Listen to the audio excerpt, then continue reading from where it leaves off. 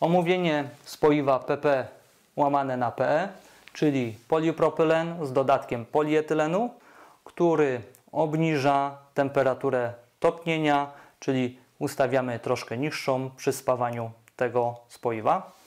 Najczęściej występuje w elementach motoryzacyjnych, takich jak zbiorniczki od płynów od spryskiwaczy i tym podobnych.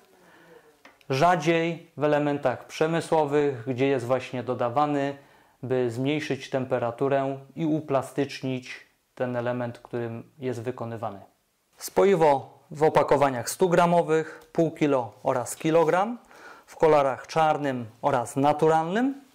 Kształty pasek 8 mm, trójkąt standardowy 3,5 mm. Jak widzicie, oczywiście wykonujemy inne kolory i kształty pod zamówienie. Pamiętajcie, aby wybierać spoiwa najwyższej jakości z czystego granulatu, tak by w trakcie i po spawaniu nie mieć problemów z naprawianą częścią. Dlatego przygotowaliśmy specjalną tabelkę z oznaczeniem spoiw i ich zastosowaniem. Pod filmem znajdziesz link do pobrania.